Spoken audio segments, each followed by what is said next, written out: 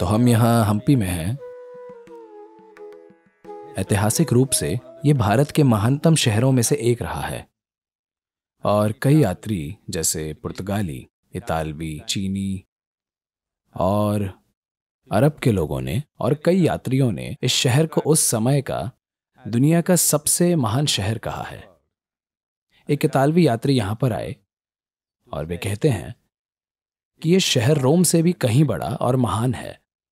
यह शहर करीब साठ मील की परिधि में फैला हुआ है और इसकी खूबसूरत चट्टाने आज भी मौजूद हैं and exudes an aura of fascination, an aura of magical presence. जिनसे मनमोहक और जादुई उपस्थिति का तेज टपकता है मुझे इस बात की हैरानी नहीं है कि उन्होंने ऐसी चट्टानों के बीच ये शहर स्थापित क्यों किया? क्योंकि ये चट्टानें सुरक्षा देती हैं। और इन चट्टानों की एक जादुई मौजूदगी है। ये पूरी जगह चट्टानों से भरी है। शायद हम आपको बाद में कुछ शॉट्स दिखाएँ। ये ये जगह चट्टानों से भरी है। शानदार चट्टाने। इनमें से कई को मंदिर और इमारत बनाने के लिए तोड़ दिया है। पर फिर भी जो जीवित चट्टाने हर जगह मौजूद हैं, वो आज भी एक जादुई माहौल बनाती हैं। इस जगह का इतिहास बहुत पुराना है।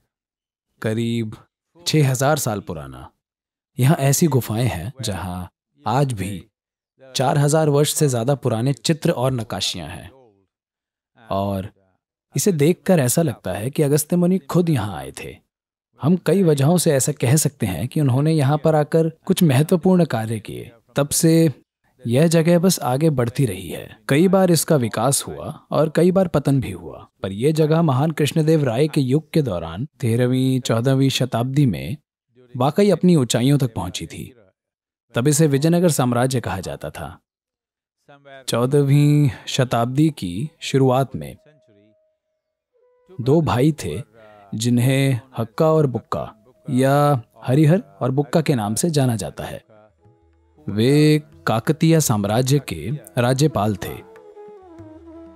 उन्होंने प्रशासन और नीति की कला सीखी, यहाँ आने का फैसला किया और अपना राज्य स्थापित किया। इस क्षेत्र में कर्नाटक के बल्लालों और ब्राह्मणी सल्तनत के बीच लगातार युद्ध होते रहते थे, क्योंकि उत्तरी मुगल सम्राट दक्षिण की ओर बढ़ने की कोशिश कर रहे थे। कई तरीकों से कई वर्षों तक 200 से ज़्यादा वर्षों तक विजयनगर साम्राज्य दक्षिण में इस्लामी आक्रमणों को रोकने वाला एक मज़बूत किला बन गया। यह भी एक कारण है कि दक्षिण में इस्लाम का असर और रुतबा बहुत कम रहा। विजयनगर साम्राज्य ही इसकी मुख्य वजह था, क्योंकि उन्होंने अपनी सेना को इस तरह से तैयार किया था। और यह शायद देश का इकलौता ऐसा साम्राज्य है जिसने देश के दोनों तटों पर कुछ समय तक राज किया। तट से तट, पूर्वी तट से पश्चिमी तट तक, वे पूरी तरह से इस जगह को कंट्रोल करते थे। इसलिए समुद्री व्यापार पर यही हावी थे। शायद किसी दूसरे, भारतीय राजा या सम्राट ने समुद्री व्यापार को कभी ऐसे कंट्रोल नहीं किया, जैसे विजयनगर ने किया था। वे पूरी जगह पर हावी थे। And.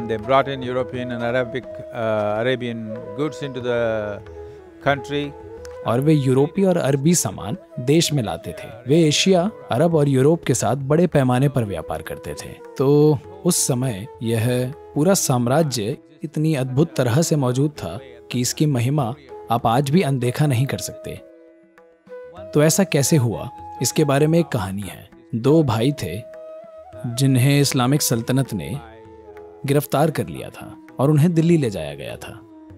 और फिर उन्होंने मुस्लिम धर्म अपना लिया पंद्रह साल से ज़्यादा समय तक वे सच्चे मुस्लिम बनकर रहे क्योंकि उनके लिए ज़िंदा रहने का सिर्फ़ यही तरीका था फिर उन्हें यहाँ राज करने के लिए दिल्ली सल्तनत के प्रतिनिधियों के रूप में यहाँ का गवर्नर बनाकर भेज दिया गया Sultanate.